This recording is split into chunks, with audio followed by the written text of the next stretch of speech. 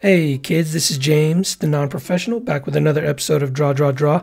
And today we're doing Bugs Bunny, the iconic figure that is pretty much the lead over all the Looney Tunes, the entire Looney Tune universe. So, anyways, we're in some, we're going to do some roughs, and it's it's a fairly simple cartoon, um, although he does have a lot of different parts to him.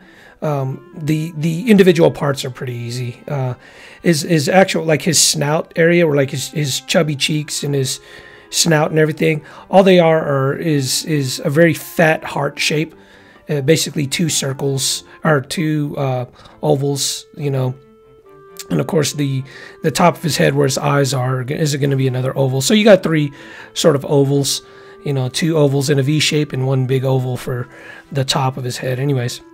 I did my research on uh, the Looney Tunes here, and surprisingly, I, I, looked up, I googled, you know, top ten most famous cartoons, and you know, I, to my surprise, it wasn't Mickey. I thought Mickey would be like the most, Mickey Mouse would be the most popular cartoon, but it was actually Bugs Bunny, and I was like, hmm, because honestly, I mean, rec- I haven't heard a whole lot about Bugs, you know, you know, recently, but he is coming out with a new movie. Um, they're doing another Space Jam. For those who don't remember, the original Space Jam in the '90s had like Michael Jordan in it, and this one's got, uh, of course, all the Looney Tunes cast, and the, you know, the human character, I guess, is going to be LeBron James. All right, so we've been in lines for a minute. Um, go ahead and tighten up those lines and just pin down some definitive details. The hand you're going to want to draw in uh, separate sections the pinky and the uh, palm, the half of the palm, you want to draw first, and then of course the thumb and the other half of the palm, and then you're just going to get those fingers just sort of protrude from the palm there. Now you can see that I, I made, you know, I, I went ahead and took the whole picture and I made Bugs skinnier because one of the main characteristics of Bugs Bunny is that he's tall and slender. He's not your typical, you know, pudgy, cute bunny that you see on a lot of cartoons. He's know, he's tall and slender and lanky and, you know, just very flexible.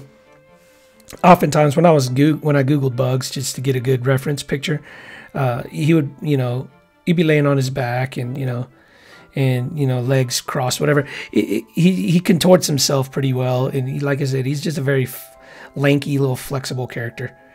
All right, so let's do some inks, and uh, we're gonna make these lines super tight. Uh, so those little rims, I guess, around his wrists is because he's wearing these big white gloves. And uh, man, I should have used stencils, but I didn't uh, for those little rings around his wrist. That's why those rings don't look so great, you know. And you know the the left arm, the rings on the left arm are bigger than the ring ring on the right arm. I don't know. I didn't go back and correct it. I guess I should have, but you know, this was actually a really really quick drawing. So and it turned out you know, I I liked it. You know, um, typically when I do something this fast, you know, there's a lot of things that you know left to be desired. But no, this one this one I liked a lot. So I did uh, keep messing up on his teeth. His teeth they taper at the bottom. They don't just go straight down, and they definitely aren't like buck teeth where they're like wide at the bottom.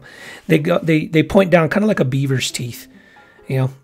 All right, so we're gonna do some colors, and it's flat colors. Just if you've seen the cartoon, it's all flat colors too, and it's really easy. I mean, all he he's com- he, he's comprised of three colors: gray, uh, pink, and white. That's all he is. So he got gray for his fur, and then you know white for his snout and the fur that goes, I guess, sort of down the middle of his his his chest and his belly. And lastly, you have the color pink. And pink is what you're going to color the inside of his ears and that little button nose that he's got just above his, you know, his buck teeth. And that's it. That's that's all his colors. You are going to see the entire background go yellow because I went ahead and, you know, filled in the white spaces with an actual white color. It's like a really, really off, off, off white, but it's there. And I couldn't see the, you know, where I was coloring until I colored the background yellow. So here we go. So you're going to see me doing the white there. Um, guys, go ahead and do your due diligence with regards to your artwork or anything that you do. You know, don't don't take shortcuts because I could have just left it white and just left the background white and it had been done. But you know, having a yellow background is is very you know it's very Bugs Bunny. You know, it just it makes him stand out more. And of course, it's you know it's Easter, so you got the bunny and the yellow and the pink and hey, So yeah, I mean, it's every color that Easter is represented by Easter. I just, I should have just made everything in pastels or something. But anyways, hope you guys enjoy the video. Always remember your three P's: persistence, patience, perseverance. That's how you grow.